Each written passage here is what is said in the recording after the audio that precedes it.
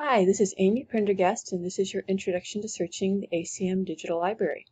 You may remember from our guide to the, um, Univers the Marx Library homepage that the best way to find a database that you know the name of is to go to our Databases Any reference page.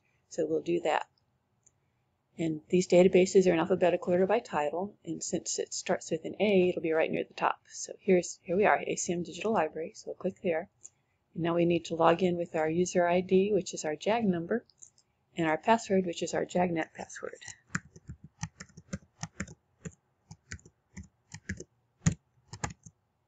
And submit.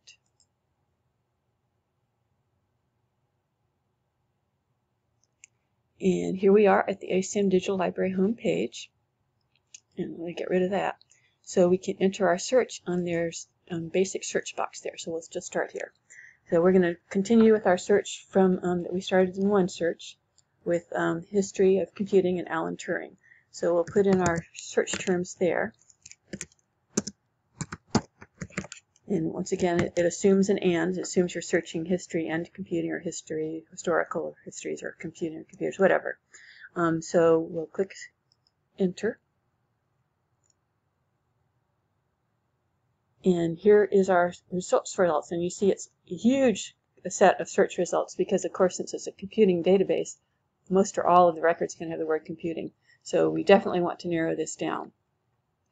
So um, one way we can do that is to add in our, um, our Alan Turing uh, part of our search. So we're going to click on Edit Search, and it transfers our, um, our original search into the first search box, and then we can add a new search box. Actually, we can add as many as we want and we'll put in our second term Alan Turing.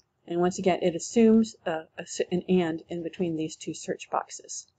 And then we're also going to limit by date like we did in OneSearch by the last 10 years. So we're going to select January 2010 and December of 2020. And the reason we do that is to pick up any um, preprints or um, early publications that, that may be in the database. And now we're going to click Search.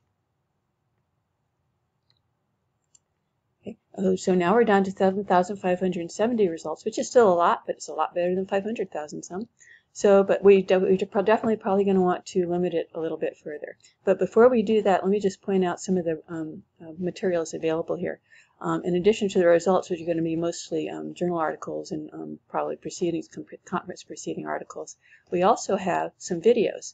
So if you click there, you can see some videos that this search pulled up. And this might be helpful to you um, at some point. Um, and you can either look at them by um, playing them in the browser or downloading them to your computer. So let's just go back to the rest of the results. And now let's say, remember when we um, limited to um, peer-reviewed articles in OneSearch? Well, a similar thing here might be to limit by research article. And we can do that by looking under Publications, Content Type, and choosing Research Article. And so now we'll be down to 5,000 some. Um, so we've limited it still further.